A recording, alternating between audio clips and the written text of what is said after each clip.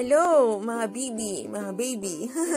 um, today, isi-share ko sa inyo ang aking napakadaling morning skincare routine dahil ang dami sa inyo nagtatanong. First up, ang gamit ko ay black salt cleanser from Guda na mabibili nyo sa Club Cleo PH. Gusto ko siya kasi it's very deep cleansing and talagang natatanggal yung mga dumi sa pores. Ayan. So, up next is yung um, buffet serum ng The Ordinary na nabili ko sa Instagram. It's a combination of acids and moisturizers to prevent the early signs of skin aging. Now, I use it to protect my skin and I apply it gently upwards to lift the skin naturally. Ayan.